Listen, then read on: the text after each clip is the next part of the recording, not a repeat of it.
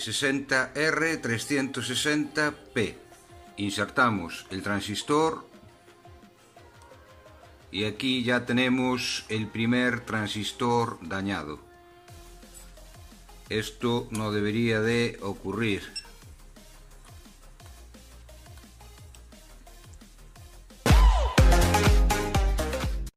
Para este proyecto vamos a utilizar una caja eléctrica. Yo previamente ya le tengo hechos los agujeritos. Vamos a utilizar este pulsador que previamente ya le coloqué dos cablecillos. En el caso de que no tengáis un pulsador, podéis utilizar estos de horno de microondas.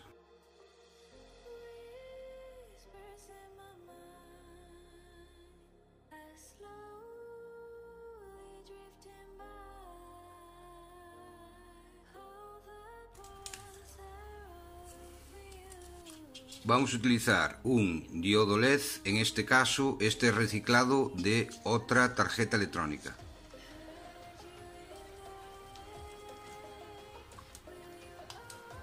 Y lo pegamos.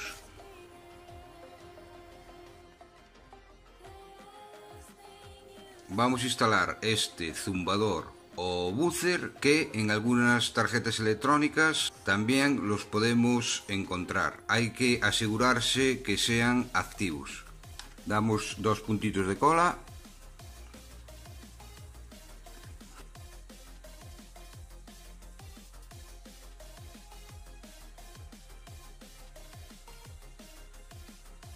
Vamos a utilizar este conector que nos es perfecto para insertar el componente. Ese tipo de conectores los reciclamos de fuentes de alimentación que ya no se utilicen y aquí tenemos el conector. Hacemos una marquita donde va a ir nuestro conector.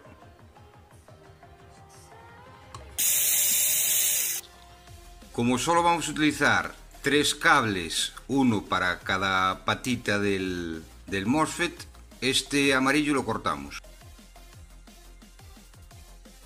y nos queda así, gatillo, drenador y surtidor. Metemos los cables y le damos un poquito de cola para que nos quede ahí seguro.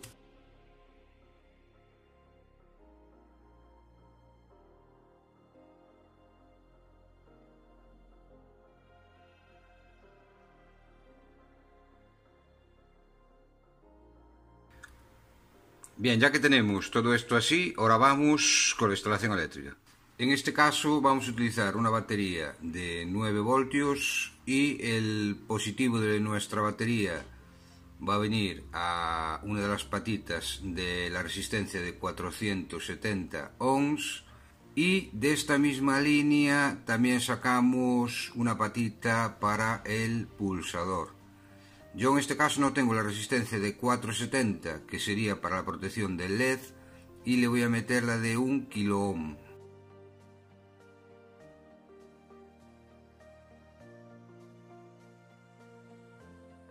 Bien, ya que tenemos hecho eso, ahora la salida de la resistencia nos venimos al ánodo del diodo y el cátodo del diodo viene a la patita drain.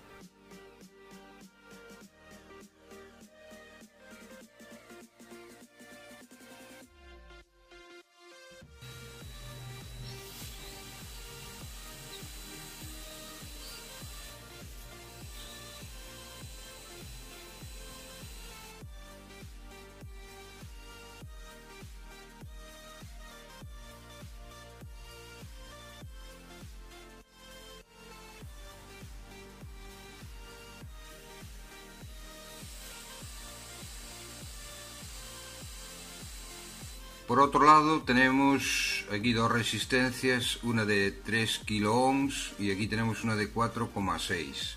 Eh, unimos estas dos resistencias y la unión de estas dos resistencias nos venimos al gatillo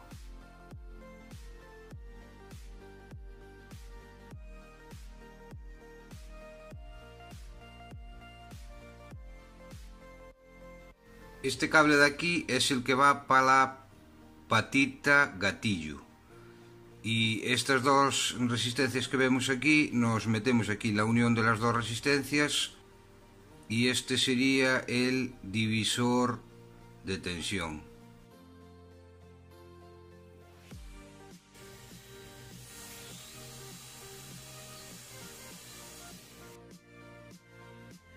Bien, y nos quedan hacer dos uniones. Después del pulsador nos conectamos a la resistencia de 3 kilo ohms y sacamos otro cable también para el buzzer. El buzzer tiene polaridad. Eh, esta línea de aquí sería el positivo del buzzer y esta sería el negativo.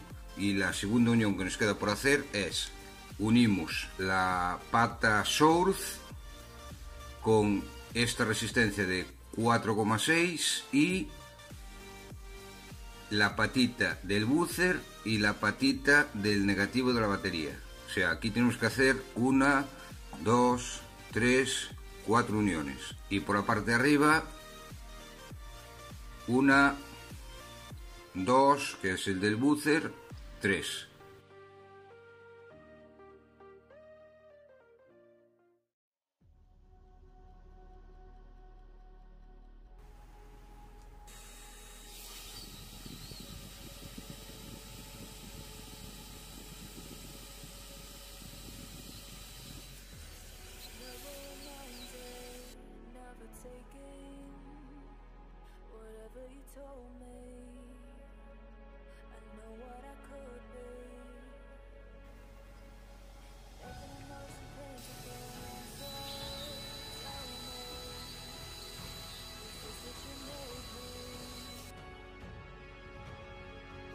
Bien, ya que tenemos el proyecto terminado, vamos a pegar la pila.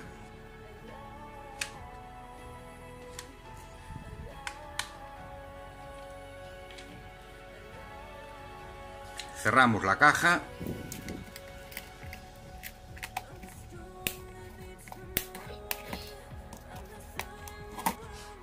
Y nos queda así. Aquí básicamente el funcionamiento de este probador consiste en que cuando apretamos el botón mediante este divisor de voltaje que tenemos aquí eh, logramos que aquí a la puerta del MOSFET no le lleguen los 9 voltios ya que sería un poco excesivo. Le llegaría un voltaje menor para poder excitar lo que es el transistor entonces eh, en el momento que apretamos el botón empieza a circular corriente drenador surtidor y se nos enciende el LED. En el momento que se nos enciende el LED eh, también nos suena el eh, buzzer ya que lo tenemos conectado aquí después del botón y ah, hacia abajo hacia el negativo de la, de la pila. Si todo es correcto, si tenemos un transistor MOSFET que está en óptimas condiciones, cuando insertamos el componente aquí, eh, debería de encenderse el LED cuando apretemos el botón y sonar el buzzer. Si da la casualidad de que tenemos un transistor que está dañado, en cuanto lo insertemos aquí, se nos va a encender el diodo LED. No nos hace falta ni que apretemos el botón. Eso nos indica de que el transistor está dañado y habría que sustituirlo. La resistencia esta que tenemos aquí de 470 es para la protección del LED y si tenemos algún transistor que estuviera en fuga, cuando insertamos el, transistor vamos a notar un ligero destello en el diodo LED. Eso nos indica de que el transistor está en fuga. Estos transistores MOSFET son muy sensibles. Eso quiere decir que si no le colocamos este divisor de tensión a la puerta del transistor, lo podemos dañar. Eh, como no voy a especificar eh, algún transistor, ya que aquí vamos a probar todos los transistores que, podamos encontrar de canal N, eh, sabemos que con un voltaje muy pequeño podemos llegar a activar la puerta para que el transistor entre en saturación. Tenemos una fuente de 9 voltios. Lo multiplicamos por la resistencia de 4 .6 y nos da 41,4. Si esto lo dividimos entre la suma de las dos resistencias, 7 9.6 y eso nos da un resultado de sobre 5 voltios, más o menos a la puerta del MOSFET. El primer transistor que vamos a probar es este, IRF 630. Y lo chequeamos.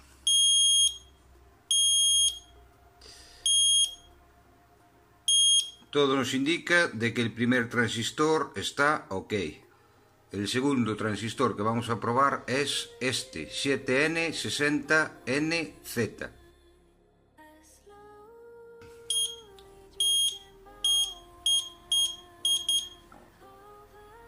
El tercer transistor que vamos a probar es este, 11N60C3.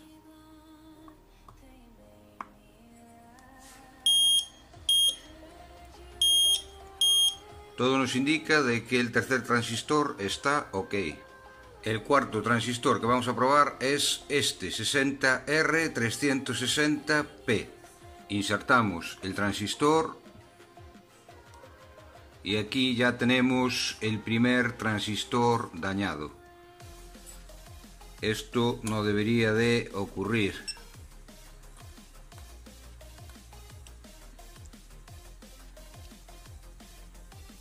Este transistor está dañado.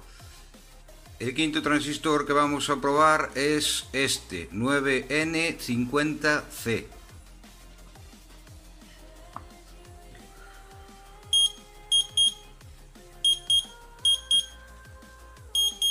Todo nos indica de que este transistor está ok. El siguiente transistor que vamos a probar es el K4100.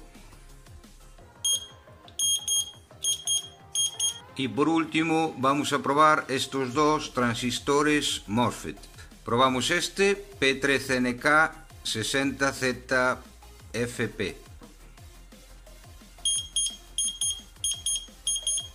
Y por último probamos este que pienso que es 10N60C. Y ahí podemos comprobar que efectivamente este transistor está dañado.